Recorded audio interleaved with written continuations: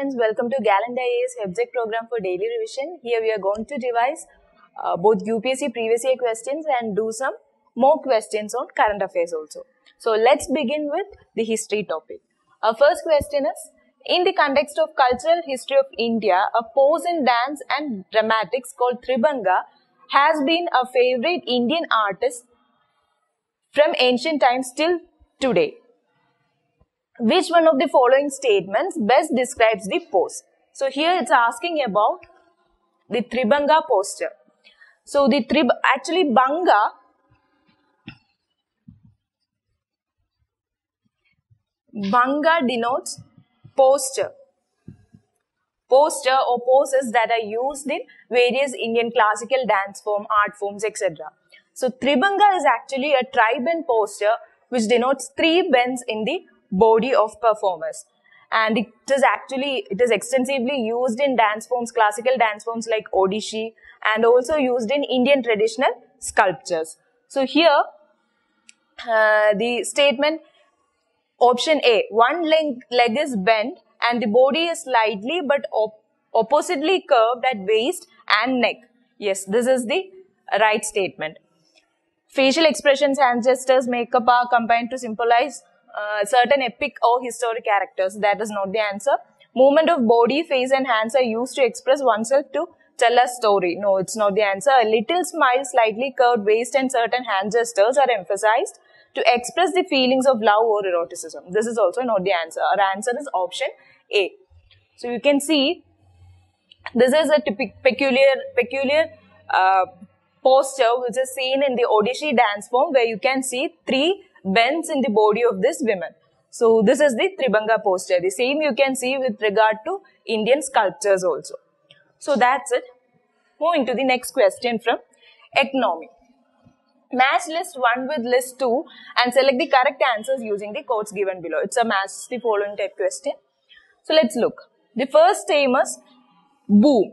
Actually boom denotes increase in the economic activity for a period of time resulting in increasing income, output, production and also the employment rate.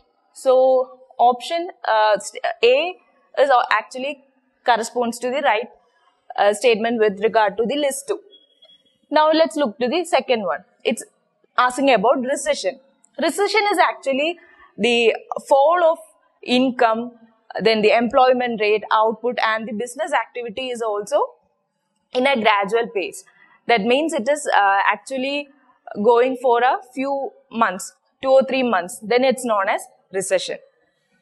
Regarding depression is actually an extreme form of uh, uh, or extreme phase of recession which can last for two or three years where the uh, economic activity is in a very downturn form.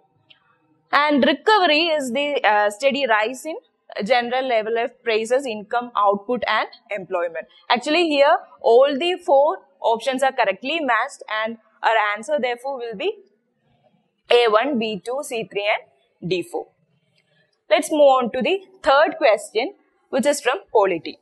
Which one of the following is a part of the electoral college for the president but not forum but not the forum for his impeachment. So it's asking about the electoral college that forms uh, for uh, for the election of president but does not form for his impeachment.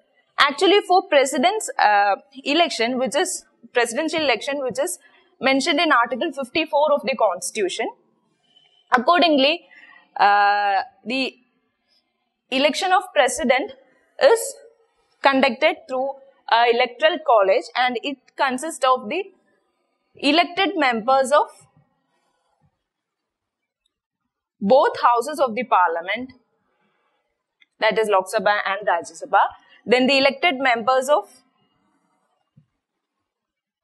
state legislative assembly and state elected members of uh, legislative assemblies of Delhi and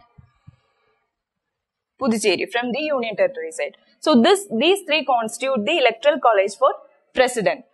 And uh, regarding impeachment, when it comes to impe impeachment, the state legislative assembly members, elected members of state legislative assembly, they are not taking part in the impeachment process of president.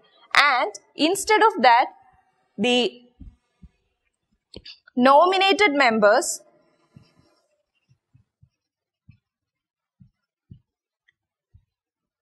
of the of both houses of the parliament are taking part in the impeachment process. So here, according to the question, it's asking those who are there in electoral college but not there in the impeachment process. Members of Lok Sabha, Rajya Sabha are there in both.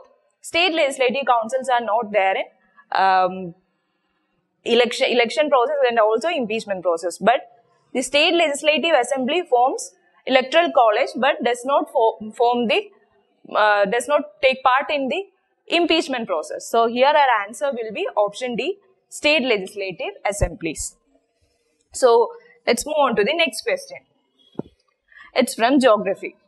Which one of the following weather conditions is indicated by a sudden fall in barometer reading? Actually, barometer is an instrument which measures the variation in atmospheric pressure. So accordingly, when there is increase in atmospheric pressure, what happens? There will be a increase in the reading. And when there is a fall in the atmospheric pressure, the reading of this barometer will decrease. So uh, here it's asking when there is a sudden fall. And in these four options, stormy, calm weather, cold and dry weather, hot and sunny weather, the option A, that is stormy weather is having uh, very rapid variations in the air pressure. So here are, and, and during very rapid air, variation in air pressure, what happens is the uh, barometer reading will be indicated by a very sudden fall. And so here the answer will be option A, stormy weather. The next question regarding environment topic. Three of the following criteria have contributed to the recognition of Western Ghats, Sri Lanka and Indo-Burma regions as hotspot, uh, hotspots of biodiversity. So it's asking which three of the above are correct criteria in this context. So regarding the six, um, the six indicators given, you have to select with select three among them which are concerning to the hotspot biodiversity. So actually hotspot bio, uh, bio, biodiversity hotspots are bio, biogeographical regions which are having a very vast uh, species richness at, at the very same time they will be uh, facing threat, uh, species threatening also. So accordingly this uh, biodiversity hotspot, this uh, term was coined by Norman Myers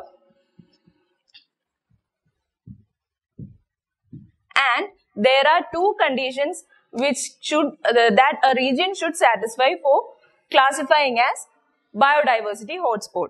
And the first condition is it should have at least 0.5% or 1500 species of vascular plants, which is endemic to that region.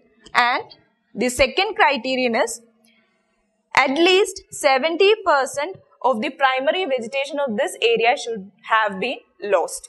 So these are the two criterions. And if you know this, these two criterions, you could easily pick three of the indicators. Let's look. First is saying about species richness. Yes, species richness is there. Vegetation density. Nothing about vegetation density is specifying in the conditions. So you could uh, eliminate option statement 2. And uh, and if you know that uh, species richness is there in your answer, you could eliminate option B and option D. So either A or C will be your answer and you know that uh, vegetation density is not there. And if vegetation density is not there, you can eliminate option A also. So your answer will be option C. That is 1, 3 and 5. That is 3 deals with endemism. Yes, there should be endemic plants. Thousand, uh, at least 1500 endemic plants should be there. That's right. And the fifth statement is threat perception. Yes, threat perception is also there. So these three indicators deals with the biodiversity hotspots. Next. So these are the biodiversity hotspots that are there in India. That is the Western Ghats, the Eastern Himalayas, Indo-Burma region and the Sundaland. Okay, now let's move on to the last topic, a kind of affair question. India Justice Report 2019 is released by NCRB, Home Ministry, Tata Trust along with other civil society organizations and National Legal Service Authority. Actually, India Justice Report which was recently uh, released is actually done by Tata Trust and some other civil society organizations. And accordingly, this um, report is being released uh, taking into consideration four pillars that is police, judiciary, prisons and legal aid and how our justice delivery system is um, working in our country. It deals, this report deals with that. And in this recent report, which was released in this year 2019, Maharashtra was among the top list uh, in large medium states with good justice delivery systems. So that's all for today. See you tomorrow.